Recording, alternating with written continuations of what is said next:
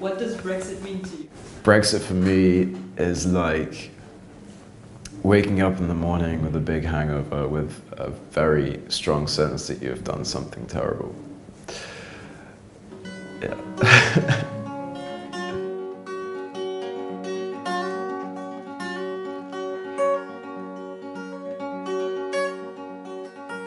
I'm Alex, I'm 22 years old from London and I'm fourth year European Studies in Maastricht. I was the only uh, only student in my sixth form class that went abroad.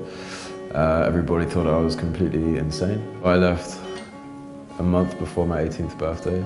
I had a backpack with just clothes in and a little package my mum gave me and I just left. Brexit was something that I was, I was vehemently against and I still am. I've had a really, really good experience here and I'm going to be really miffed if other people younger than me, I won't be able to go and tell them, yeah, go to the, go to Maastricht, go to Europe to study because it's the best experience that I've had. Every part of Brexit for me was just people who were terrified of, of the world and being involved in it and, and other cultures basically.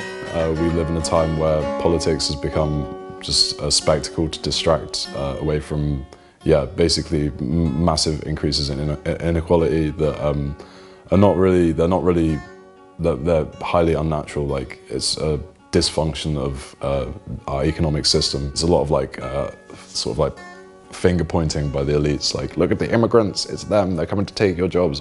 This huge fear of European free movement we think it's going to be the Syrians or the Eastern Europeans coming across and stealing our jobs. Well, the people who use it the most are actually the educated, liberal, yeah. kind of middle class. The fact that we are living in Maastricht in itself yeah. Uh, is a quality of our character. We are the globalized population.